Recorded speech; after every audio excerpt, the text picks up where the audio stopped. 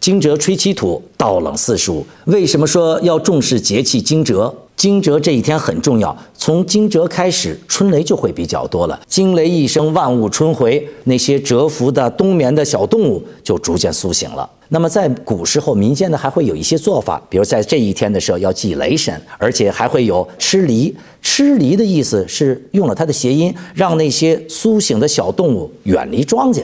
这是其一，其二呢，在惊蛰这一天呢，人们要注意观察天象。那有一句谚语：“惊蛰吹七土，稻冷四暑。”这句话是什么意思？在惊蛰这一天，如果你发现刮大风、尘土飞扬的时候，意味着倒春寒来了。那也就是从这一天开始往后，大约一个月多一点，那么可能都会比较冷。这是给你一个很重要的提醒，因为很多人春天一到了就热了，就开始要脱衣服了。